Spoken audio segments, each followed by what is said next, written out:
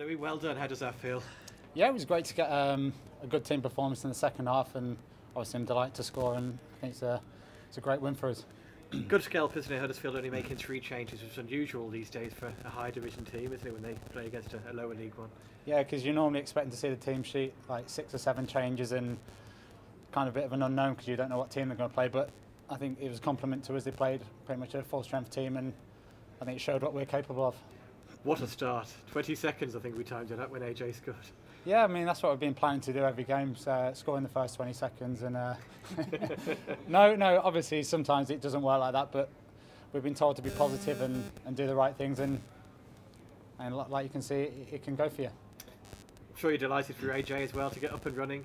You, you need every striker wants to score as quickly as they can for a new club, I'm sure. Yeah, because um, me and AJ have come with um, goals from last season, and obviously I've been at Vale for a long time, so it's obviously nice to get to the mark as early as you can and, and show the fans what you can do. So um, yeah, me and AJ are delighted with that.